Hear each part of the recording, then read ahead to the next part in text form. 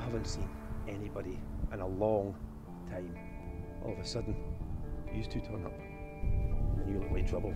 And I don't need trouble. You don't know nothing about me. You're right, I don't. But I have good instincts. And my instincts say you're dangerous. You think I'm dangerous? For her? Yeah, you are.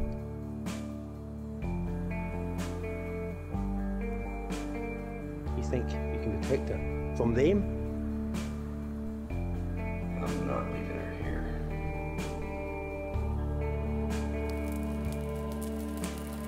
Why shouldn't we trust him? We don't know him.